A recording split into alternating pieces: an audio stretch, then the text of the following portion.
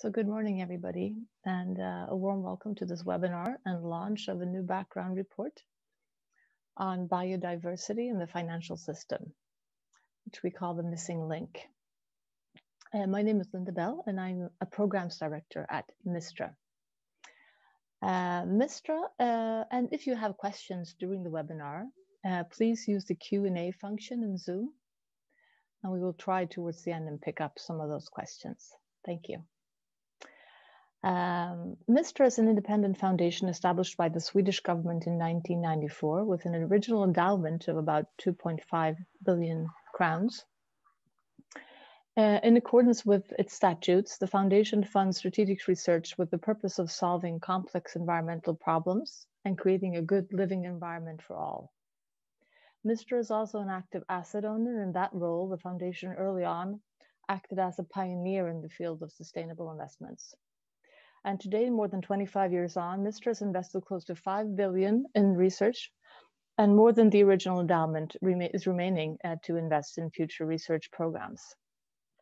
And today we're glad to launch uh, a background report with relevance for both of Mistra's foundational pillars, research and sustainable investment. And the work on this report, which took place during the spring of 2021, was led by Simon Zadek, who's the chair of finance by biodiversity, and the other authors are Simon's colleague, Andreas Merkel, Charlie Dixon from Vivid Economics, Mia Pantzar, who is a policy analyst, Thomas Kastner from the Senckenberg Biodiversity and Climate Research Center, and Natalia Tkachenko from the Oxford Sustainable Finance Program. Our first speaker today, uh, Mia Pantzar, has worked for many years as an environmental policy analyst and researcher in London, and recently returned to Sweden to work on biodiversity related issues at a government agency. Mia's focus is on EU policies and processes, and she's authored several research reports, analyses, and book chapters, including on the implementation of the EU nature directives in Sweden, environmental integration, and socioeconomic benefits of nature conservation. So please, Mia. Thank you, Linda. Good morning, everyone. Uh, thank you also, Mistra for inviting me to, to speak at this webinar. Um, so Linda has asked me to start off with, with some of the context to set the scene for today's topic on the links between biodiversity and the financial sector, uh, the basics, if you like. And I would like to just begin by saying that the starting point and the main focus of, of the panel putting this report together has been uh, how to halt the loss of biodiversity.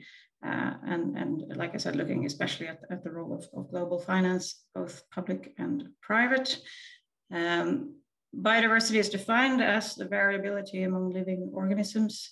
We have used the, the Convention of Biological Diversity's definition um, and it includes also the diversity of ecosystems. And uh, I don't think it comes as a surprise to anyone listening into this dialogue, but just to re-emphasize that over an extremely short period of time, uh, humans have caused degradation and loss of biodiversity at an almost unbelievable scale, and it is not slowing down. Uh, you have all seen these dramatic stats, I'm sure. Um, I won't go into them in, in detail, but uh, just to mention IPBES 2019 uh, showing that 75% of Earth's land surface is now significantly altered by humans. Um, the population of wild species globally has been heavily reduced by as much as 60% uh, in the last 40 years alone, according to WWF. And, and here in Europe, um, over 80% of the most carefully protected habitat types still remain in a poor or bad conservation status, according to the EA, despite decades of trying to, to do something about that. Um, and this situation is, of course, symptomatic of, of our ways of life, our economic development, maybe especially since uh, World War II. Um, this development has been an amazing achievement, of course, in, in terms of human well-being, for instance, but it's this process has been based on a linear, inefficient, and, and wasteful economic system that has caused land use change, pollution, uh, driving climate change and, and, biodiversity loss, for instance. Um, and in fact, today the, the system itself is, is in many ways over-dimensioned. We, we are living well beyond the available resources in many parts of the world, and, and Sweden is certainly no exception, rather the, the contrary. Um, of course, we are very much part of biodiversity. We depend on diverse, healthy, and resilient natural ecosystems. Uh, so this biodiversity crisis is certainly also a crisis for, for humanity. Um, and the people who understand this far better than I do uh, say that we only have a limited time left to, to act uh, before basically we cross too many, too many tipping points where we have no idea of what the outcomes might be.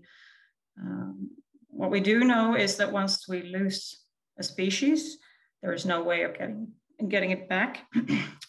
and once an ecosystem is pushed beyond a certain stage, in most cases, it's not possible to retrieve that process or to imitate or replace the functions that it filled with some sort of technical solutions. So all in all, we are not only destroying what makes this planet unique as far as we know, um, we are actually knowingly creating a more dangerous and unfamiliar place for future generations to, to, to live in. And with that uplifting introduction here in the morning, um, maybe we should come back to today's topic and, and uh, the report that the panel has put together, which, like I said, focuses on what we do uh, about this. Um, and of course, overall, uh, the world, there has been major efforts in the past, say, 100 years to protect nature, uh, normally using public budgets. We designate protected areas, we regulate harmful activities in, in different ways, etc., etc.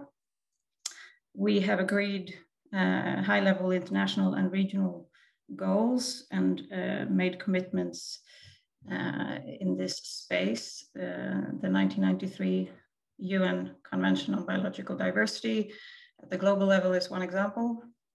Here in the EU, we've had a political goal uh, of halting biodiversity loss since about that, that time, since 1998. That's now 23 years ago. Um, and these efforts that we have taken have had a, a major difference uh, made a made a major difference. But existing appro approaches also have many limitations, uh, mainly because nature conservation has been notoriously underfunded in public budgets, certainly in the EU, uh, and especially when it comes to monitoring and enforcement, which you might say is, is the most important aspect. We've also failed to address these underlying drivers that I mentioned related to our ways of producing and, and consuming. Uh, we are still losing biodiversity faster than we are able to, to protect or, or to restore it. And this all boils down to our inability to take biodiversity into account in economic and investment decisions, uh, but also in planning and follow-up, benchmarking, etc. Uh, we need mechanisms to help illustrate the role of biodiversity, including the values of the benefits that we derive from it for our well-being and, and our development. Um, just as well, obviously, it's impossible to put a price on biodiversity, uh, but business as usual is simply not uh, an option. Um, and the, there are a lot happening here, which I am sure you're all aware. There's quite a lot of thinking in this space, and in the paper we explore uh, parts of this. Uh, for example, there is a large body of research now on ecosystem services, how to value the benefits that we derive from these, uh, and also the specific role of biodiversity in ecosystem services. Um, there are taxonomies for sustainable investments being developed uh, in the EU and also elsewhere. Um, and I believe my colleague on the panel, Simon, will talk, talk more about what is going on in this nexus, as we call it, in just a moment. Uh, but just to say as well that uh, in recent years, we have, uh, we've seen uh, absolutely unprecedented political attention to biodiversity, mind you, from a very low uh, starting point, um, especially in Brussels. We have the European Green Deal, which is the economic growth strategy of the current Commission, uh, and it puts climate, natural capital, as they call it, and social justice on equal footing and at the very center of, of the entire strategy. Um, it's a vague political document by its nature, yes, but it is the first time that we see these goals receive such political weight uh, in the EU. Um, in May last year, we also got the new biodiversity strategy to 2030 uh, from the Commission, and that has been called rather ambitious. It's been generally well received, even by environmental NGOs. Uh, and it has been supported by all member states in council. And recently, just, just last week, uh, the European Parliament also supported it with a huge majority. Um, and this strategy emphasizes, amongst many other things, the role of nature to human health and to our economies. Uh, it puts emphasis on, on the business case of investing in nature. At the national level, the EU and its member states, as you know, have shared competence on environmental policy. Uh, so as an EU member state, a great majority of, of Sweden's political approaches to these, these things are directly or indirectly based on EU policy. Uh, Sweden has also signed up for the biodiversity strategy, as I, as I said. Uh, it is a political commit, commitment and not binding, but there are uh, legal measures, legally binding measures that will be developed as part of carrying out the strategy. We'll see a, a nature restoration law, for instance, by the end of this year. Um, member states will also be uh, responsible for implementing, of course, these goals and new rules, and also to integrate biodiversity into sectoral policies, including on, on, on forests. Um, so just to wrap up, things are certainly happening very fast on this, um, but it is an extremely complex field. There are several uh, links missing here, which is the, the topic for today. Um, on the one hand, it's about mobilizing private sources of funding for traditional conservation measures. Public budgets are certainly not going to be enough. Um, on the other hand, it's about finding ways for finance to reduce its negative impact on biodiversity uh, from their investments, but also to identify investments that can benefit nature. Um, and if you compare to climate, for instance, we've come quite a long way there. Uh, in, investors now take climate risks into account to a much greater extent than only five years ago. Um, and maybe what really pushed the needle there was uh, this realization of, of, stranded assets. But on biodiversity, we're simply not there yet. Um, and I'd, I'd, say it's probably also more link, uh, complex linkages uh, involved than on climate. Um, I'd just like to end with saying that it's crucial, I think, to remember here, which we also put quite some emphasis on in the paper, that without appropriate checks and balances, this development could also generate unintended consequences that do not deliver for biodiversity or even go against uh, these goals of halting biodiversity loss. Uh, the main interest of private finance, of its purpose, in fact, is to generate uh, a return to investors. Um, so effective governance plays a critical role, not least because of these multiple trade-offs involved. Uh, of course, comparing future benefits with present costs is one example there.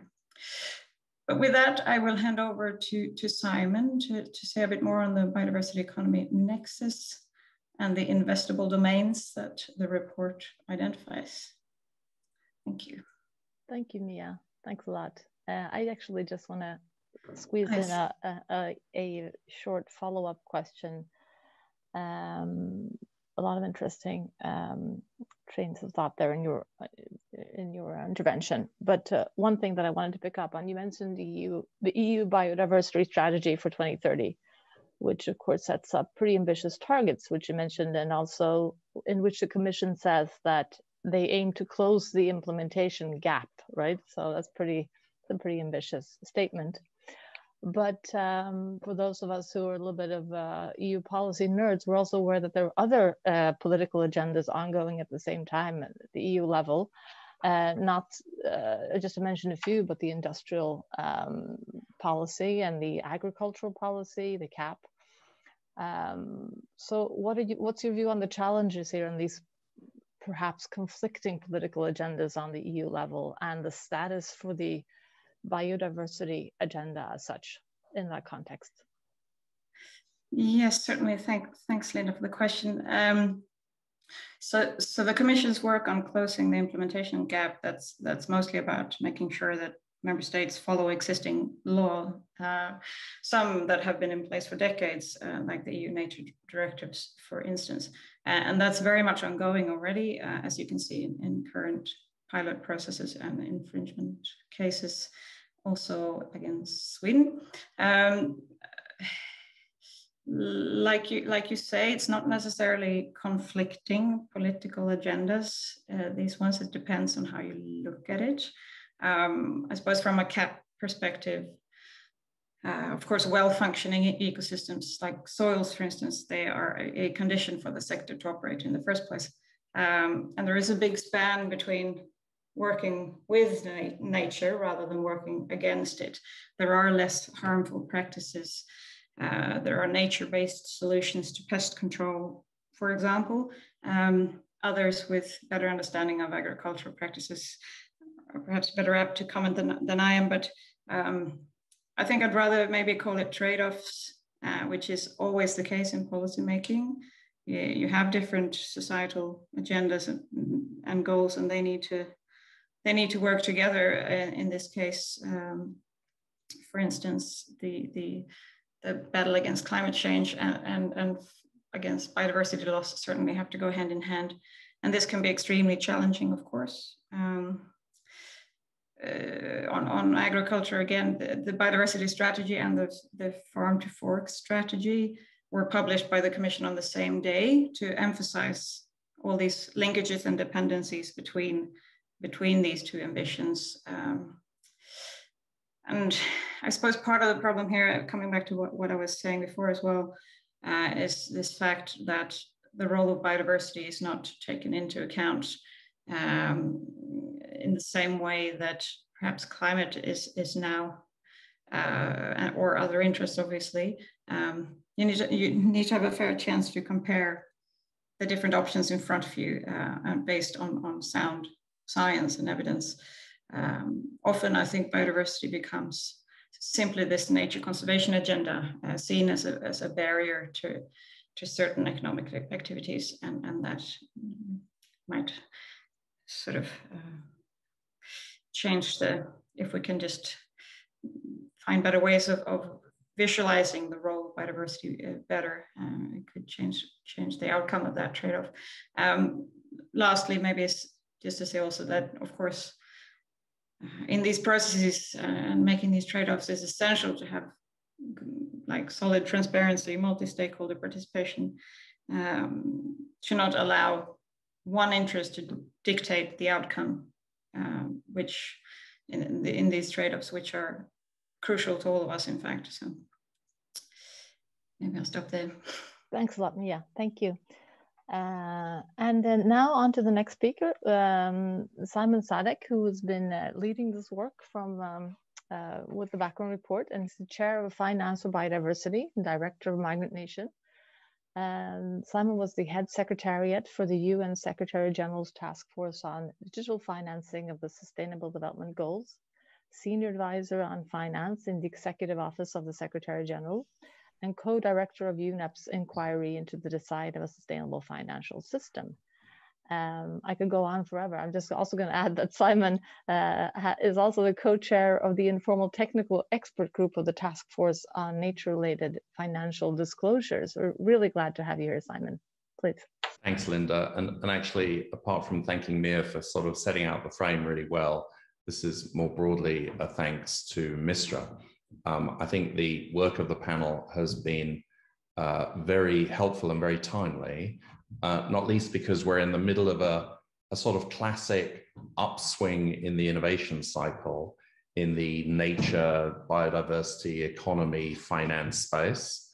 Uh, and the question of kind of what kind of knowledge to create, when, how, for what, uh, I think is extremely timely uh, right now. So, so I think the work of the panel, the paper that we're putting out today under a MISTRA frame, hopefully will be relevant to MISTRA, but, but I'm hoping will also be relevant to many other both researchers and research support organizations thinking about knowledge generation in this space. So, so I'm going to start um, with just a question, uh, which I know you can't answer directly, but at least answer in your minds.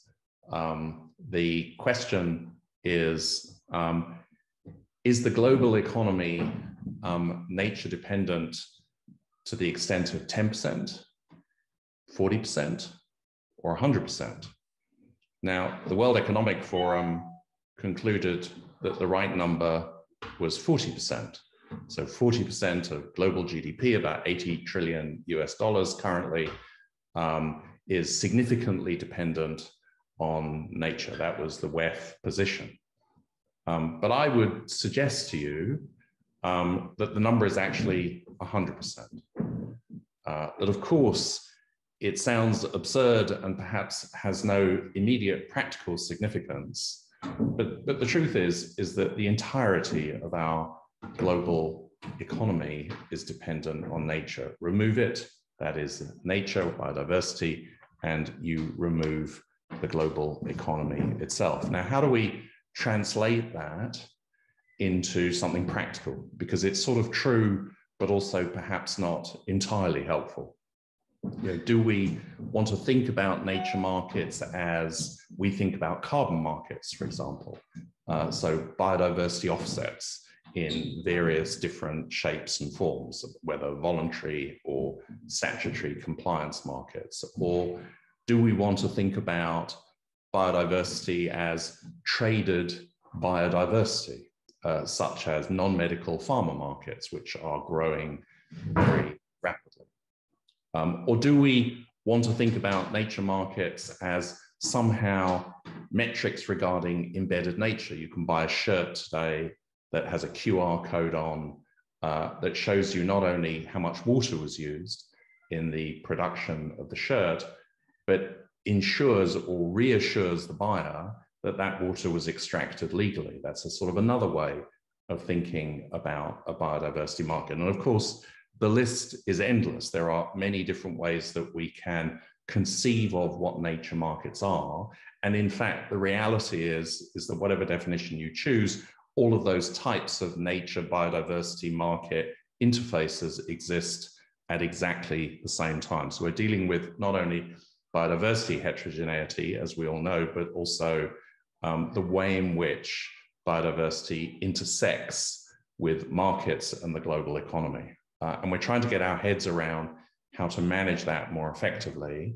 And the only thing that we're absolutely clear about is that there isn't a single metric uh, a carbon ton equivalent, uh, that there isn't a single target, a 1.5 degree equivalent, uh, so that we're dealing with a world of high complexity uh, and trying to figure out how to ensure exactly to Mia's point that the continued destruction of nature uh, through the way in which we run our global economy can be not only slowed down, but in fact reversed. So um, Finance for Biodiversity, the organization that I chair, set up originally by the MAVA Foundation in Switzerland, has a goal focused on the finance side of this story. Uh, so its goal is to increase the materiality of biodiversity in financial decision making. And that includes global financial and capital markets, uh, but also includes within our frame uh, public finance uh, it includes, for example, not only fiscal side of public finance, but also the $50 trillion plus that currently sit on central bank balance sheets. And it also includes our own spending as citizens. Uh, and that obviously is largest when it comes to consumption, you know, $47 trillion a year plus. Um, but equally, we are savers, we are investors, we are pension policy holders, uh, and we are taxpayers. So we, as individual citizens, also shape the way in which finance, biodiversity, and markets um, interlock with each other. So um, our work at Finance for Biodiversity has really tried to grapple with the question uh, of how we begin to ensure that biodiversity is considered more material in financial decision making across those many different spheres of finance, which, of course, at one level, uh, as we all know, and I'm sure we'll come back to, is a matter of measurement. Yeah, you manage what you measure, that old adage. And there's now a considerable amount of work emerging on the measurement side. Uh, Linda has already made mention uh, of the task force on nature related financial disclosure, if you like, the more recent cousin of TCFD, the task force on climate related financial disclosure. We have the network of central banks, now 90 central banks, uh, on greening the financial system, NGFS, beginning to migrate beyond its original focus on climate related risk and beginning to look at biodiversity related risks to financial stability, so within their mandate. Uh, and in all of these areas, as well as the upsides, the opportunities that may arise, uh, the measurement challenge is clearly very significant and has to be addressed in order to make significant changes to the materiality uh, of biodiversity and financial decision making. However, that may well prove not to be enough. We know within the carbon space a lot now about the notion of stranded assets, and that has allowed us to build transition risk frameworks that consider changes in asset valuation and allocation associated with climate risk, and that has driven the materiality of climate or aspects of climate into financial decision making of various different kinds. But actually, most nature related effects on economic assets are indirect. They have to do with dependency relationships, not necessarily the nature content of the economic asset itself, such as the equivalent with, say, coal fired power stations in climate.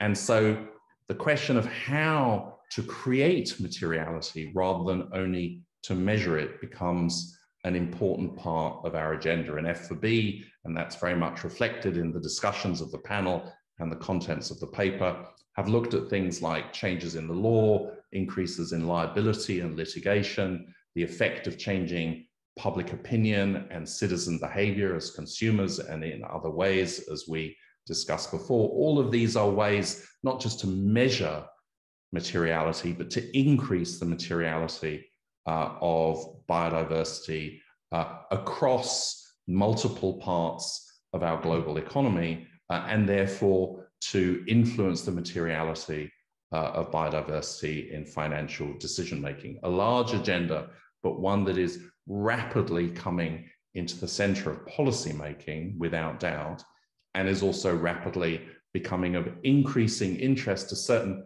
segments of the business community, including a growing portion of the financial community, hence the creation of TNFD, NGFS, uh, and others. So, what does that translate into when it comes to research? You know, clearly all of these topics are very interesting uh, and therefore, in and of itself, are subject to intellectual endeavor, you know, that is curiosity driven, but also needs to be application driven. Uh, we can think of the importance, for example, of understanding practice more effectively. So come back to the definitions of biodiversity markets themselves. You know, and in my examples earlier, I illustrated that one can think about biodiversity markets in many different shapes and forms. You know, would you include alternate protein um, uh, developments, uh, the so-called you know no-kill burger, um, as an aspect of a biodiversity market, for example, not because of the way it impacts biodiversity, but actually because of the decoupling uh, of uh, fake meat production as compared to livestock uh, from nature impact. So the possibilities of how we think about biodiversity markets clearly needs to be subjected to both intellectual discipline uh, rather than dogma or narrow views, back to that 40 and 100% story, um, but also needs to be subjected to much greater practical investigation. The issue of data, you know, clearly important. We all understand, especially spatial data, you know, needs to be subject to greater analysis as to what kind of data in what kind of context, but also how to ensure the right quality data or does there need to be ways in which data is built into collaborative pools or open source platforms? So applied research, I guess, would be my bias given the work I do, but clearly sitting behind that needs to be deeper theoretical research as well. And of course, that translates straight across into the finance area, the focus of F4B, and not the only topic within the MISTRA paper and the work of the panel, but clearly a significant focus uh, of our attention. Uh, and the question of not just how uh, simple lending, if you like, within the agricultural sector, the most obvious area to look at nature impacts might actually work or be made more effective with biodiversity becoming more material, but looking across a wider range of financial institutions, a wider range of financial instruments, a more complex and variegated range of public and financing flows and the way in which they relate to each other, including, of course, the whole fiscal space and uh, the whole policy regulatory space as it relates to public finance. All of these areas are in rapid dynamic change. And our understanding of them needs to be codified, but codified often prior to there being extensive data sets regarding prior practice being available. So that speaks to, if you like, the kind of research that's needed, not only the topic of the researcher that needs to be focused on. And then I wanted to come back to one of the final points that Mia made as well, which is the issue of governance. Clearly, there is a binary polarized discussion out there. You know, don't allow market processes to intervene or become too interrelated with biodiversity at all, because the financialization of biodiversity is in and of itself a problem. So that will tend to push one more towards policy driven, um, top down uh, biodiversity control models, so parks, reserves, and so on, um, against the other view, uh, which is that aspects of the financialization of biodiversity, i.e., the creation of biodiversity related markets, are what we need, um, partly because we need to continue to draw on uh, biodiversity ecosystem services, but partly because that's one way in which to ensure that investment flows will be aligned and supportive of, of regenerative biodiversity initiatives. So that polarized debate, of course, uncovers in the middle the matter of governance. You know, markets can be good or bad, as Mia says, can have unintended consequences, unfortunately can also have expected negative consequences if one's trying to, if you like, sweat biodiversity on behalf of financial capital too much. And so the question of what new models of governance we take on or develop, or how we enhance existing approaches to financial regulation, to policy, to voluntary initiatives, and so on, all speak to the question of how we create a generation of biodiversity markets, or if you like, a biodiversity rich economy that is regenerative of biodiversity, whilst at the same time allowing us to draw the kinds of ecosystem services we need. Final point, Linda, so absolutely perfect timing. You know, I would sort of conclude by saying, again, the positive side, I think, of the paper that we have developed as a panel is not so much that it contains blinding insights. Uh, I think much of what is there is well framed and draws from the richness of many other people's work. But what is helpful is that it begins to set out as Mia put it, an investable domain, i.e., a set of areas that research should be undertaken and can be invested in, not only for MISTRA, we would hope, but also for other research communities around the world and other funding bodies around the world. So with that, let me stop, Linda, and pass back to you with many thanks. Thanks a lot, Simon.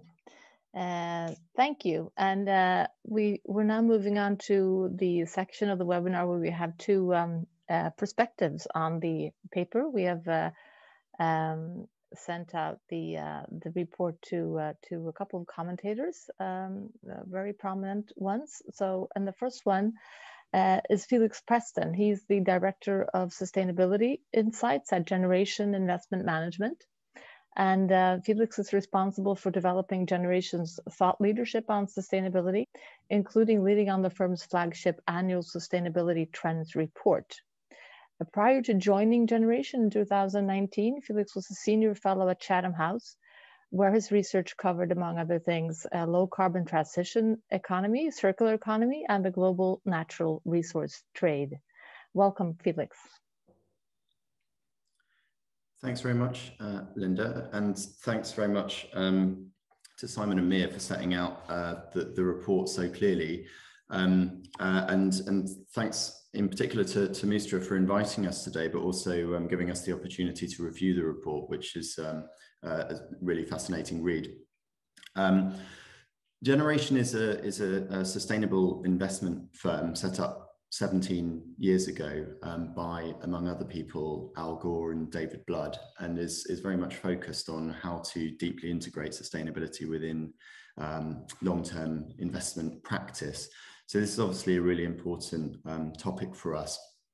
Uh, th this, this report comes at a super important time. I mean, for, for, for us as an investment firm, biodiversity, we obviously see and hopefully help with it rising up the agenda very fast. And Mia set out very clearly why that's important, which is the, the, the, the extent of the ecological emergency that we face. Uh, and we need obviously some very practical responses to deal with what is a very complex challenge.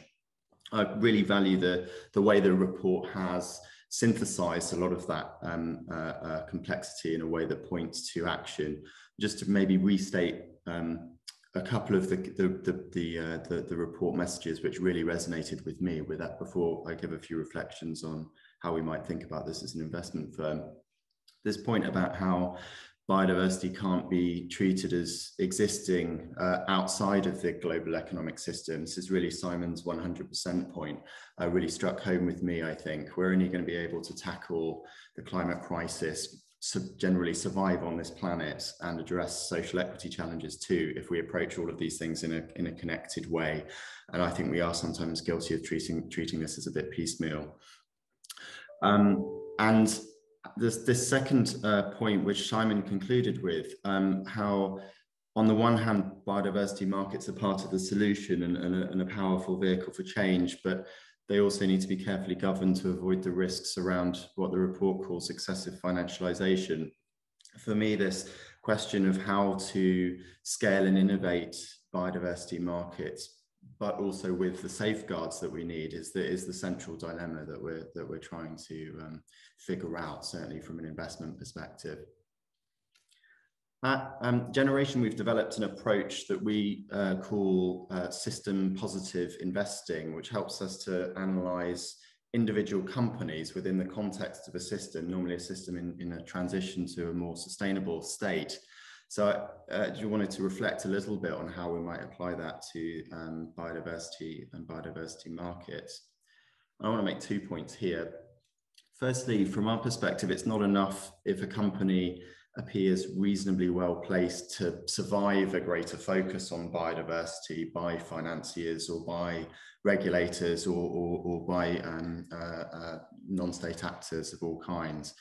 We want to see companies actively contributing to and shaping the transition to uh, nature, uh, a nature positive economy, a biodiversity rich economy. Uh, through the way that they engage their supply chains, the products and services that they develop, how they enable and work with consumers to change behavior in a sustainable direction and also in their policy work. So we're really looking for uh, uh, companies that over time will be helping to, to make this happen, not just cope with um, biodiversity risk.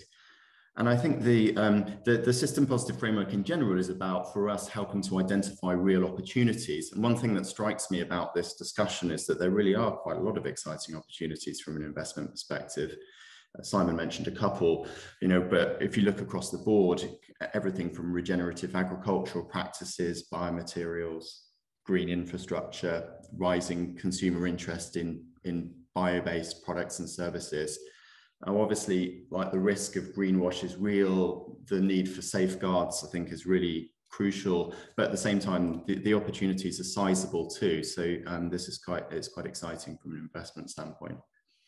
I wanted to make just a couple of reflections uh, as the other two speakers have also talked about the connection with the climate agenda and clearly for, an, for investors, we, um, the investment world has been thinking a lot about climate change, certainly for the, for the last five years. Not there yet, but uh, in terms of where we need to be, but a lot of work has happened.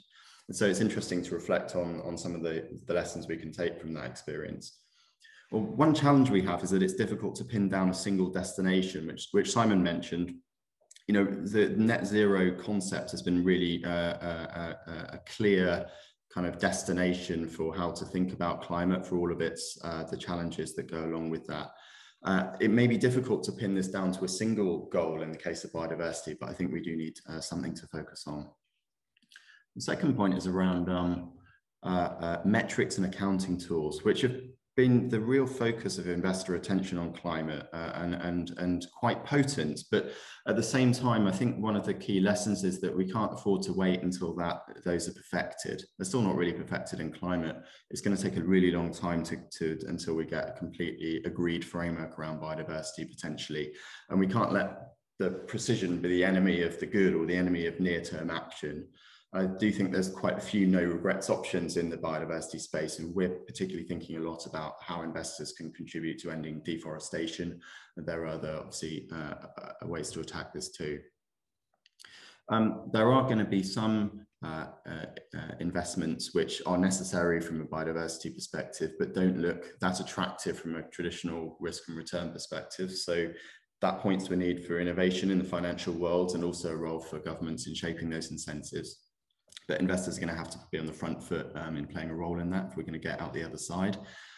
Um, and I think but both of the speakers have been very clear about the um, the importance of governance and this is governance and politics. I think we consistently underestimate in in the, in the, in the climate world.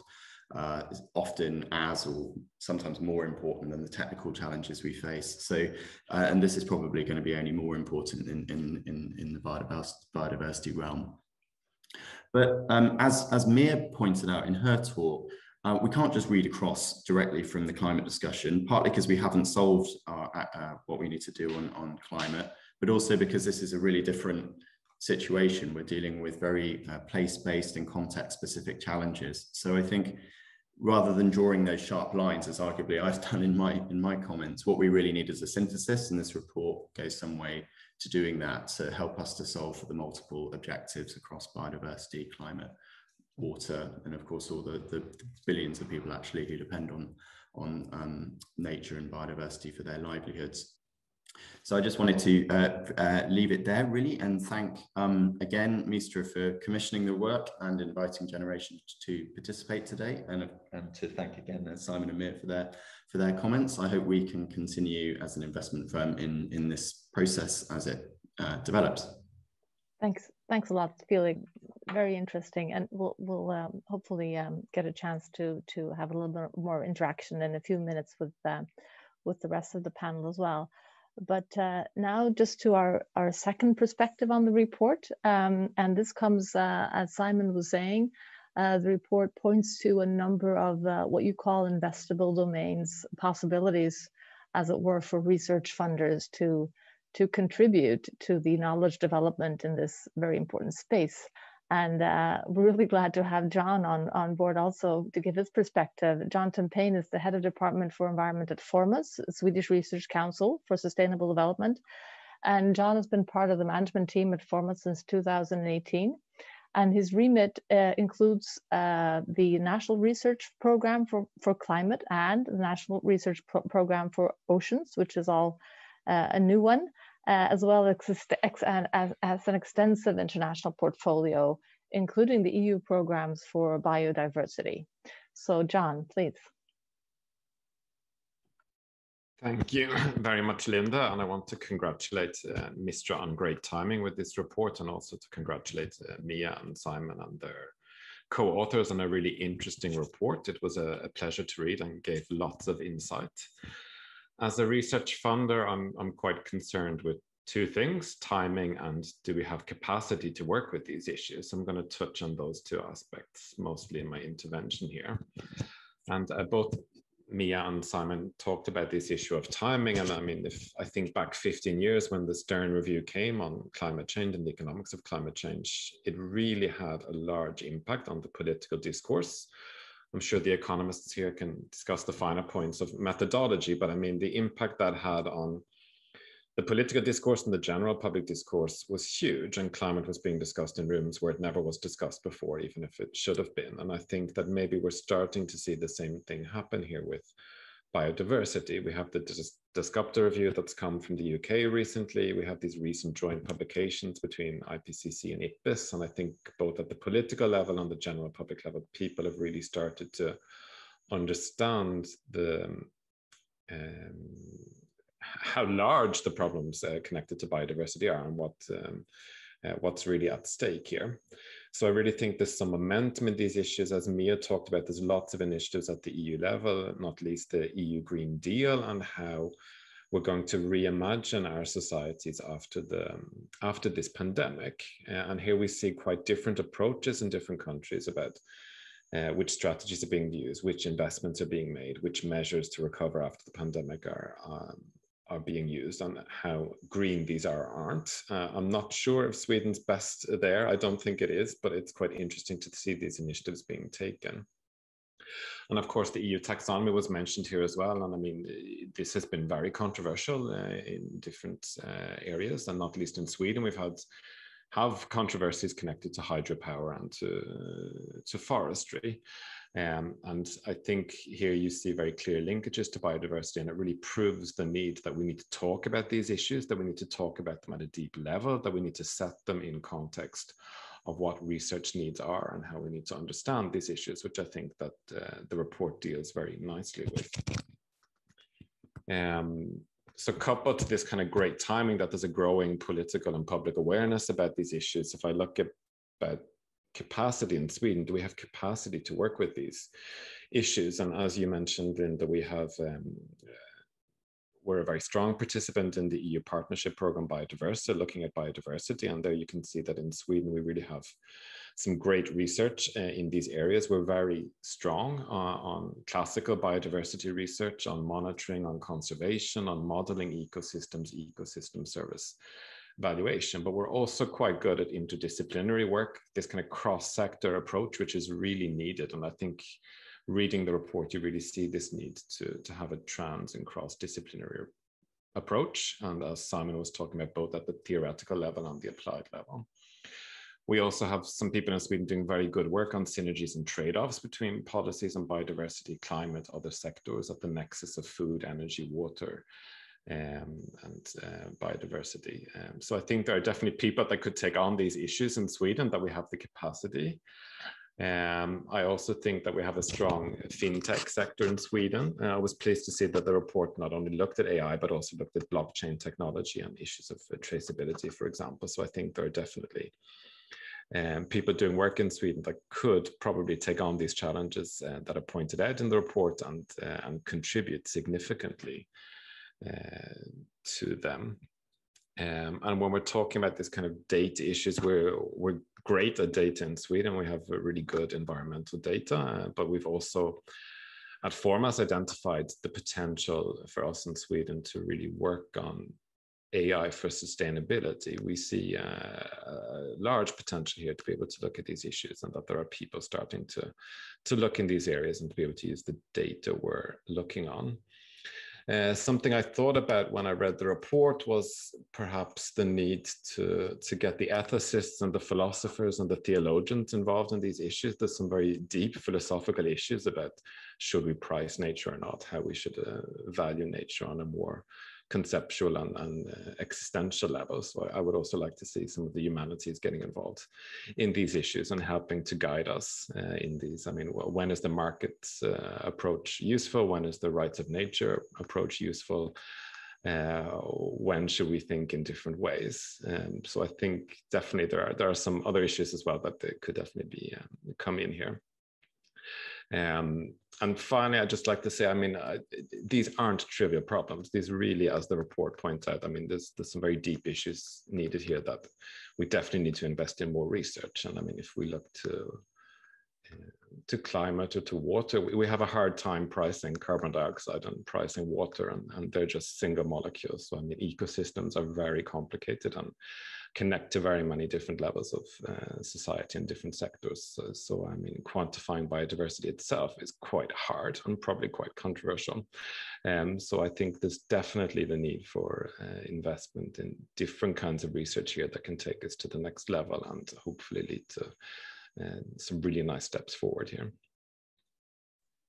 Thank you so much, John. That was uh, really useful and, and interesting also with some of the strengths of the Swedish research system highlighted there.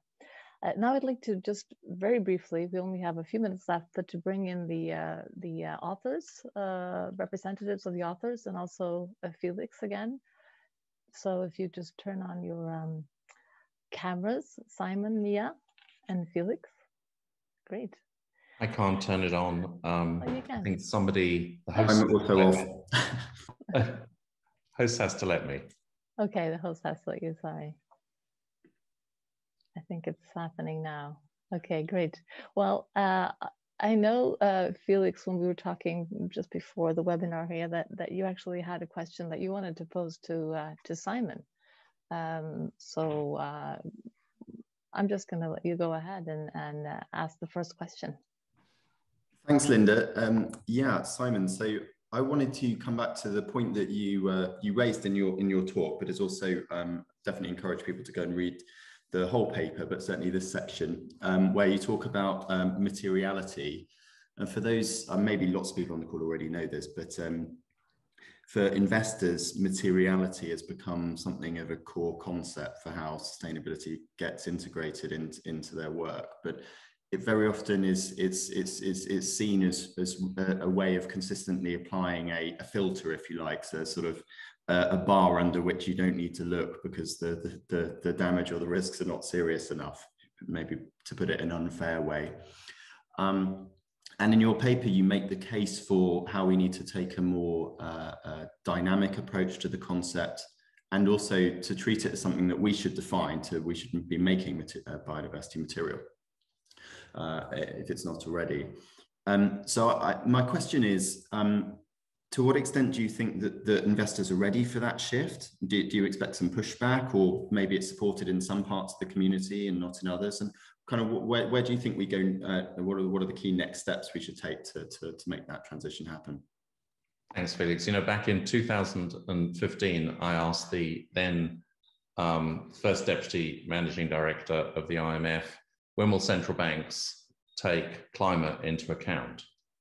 Uh, and his answer with a grin was when they do.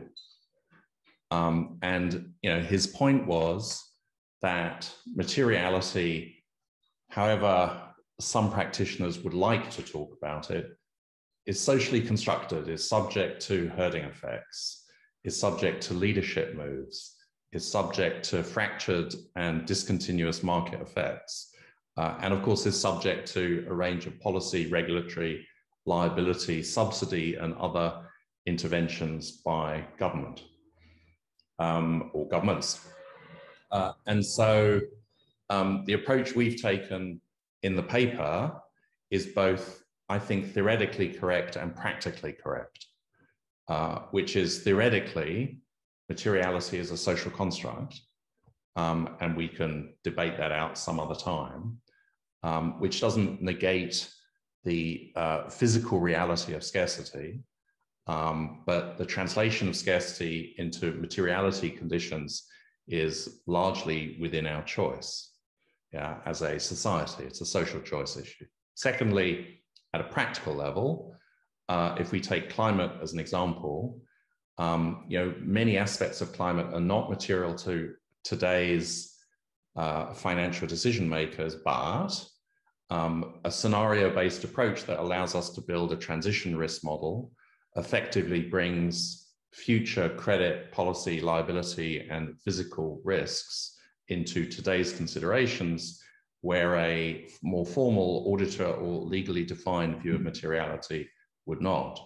The TNFD, uh, the Task Force for Nature-Related Financial Disclosure, has quite consciously adopted the phrase nature-related risk, which includes the short-term, traditionally defined material financial risk, but also includes nature dependency and impact, not so much in the European mode of double materiality, relevance to the business and relevance to society, but with a view that nature dependency and nature impact foretells future material financial risks, i.e., that dynamic materiality using the language that the World Economic Forum has adopted. Does that help? Thank you. Thanks, yes. Thanks for the thank, helped me at least. thanks a lot. Um, so I, would like to uh, pick up a question from the Q and A. Um, not sure pose it to, but maybe uh, um, Mia, I can uh, I can see if you if you're ready to to try and and and and give it a shot. Uh, and this is on the risk uh, issue. Uh, as as the financial sector now seems to be quite ready to act on the biodiversity challenges ahead with limited data available. Uh, what uh, what should they take into account acting under uncertainty, as it were, uh, when it comes to the risks? Um, so, do you want to give it a try? I can it's try. a huge one. no, but it's of course a, a very valid point. Um, we have big data issues still uh, when it comes to monitoring the status of biodiversity, even mapping where we have uh, key areas of high biodiversity. Uh, so the very basics are still uh, being being developed, but I would say that that is happening now at an extremely quick rate with the technological solutions that that now uh, are available that were not before. Of course, then it's a problem of baseline. Where were we uh, before, and what do we want to get back to? Um, but we also do know a lot, uh, especially when it comes to the drivers, uh, the impacts of our various activities. We know that fairly well, um, and therefore waiting for you know solid solid baselines and, and better data is also not necessarily an option anymore, but working based on what we have. Uh, in the EU, for example, we have uh, these reportings under the under the Habitats Directive. We have now done three rounds of that, so it's no longer an excuse to say that we don't know enough. Uh, we know, I would say, enough to to do more than what we're doing at the moment. Uh, so from a I cannot answer from a financial uh, sector perspective because I, am not part of it. But um, I don't know if that answers answers the question. But if few thoughts, at least, on this data issue. Um,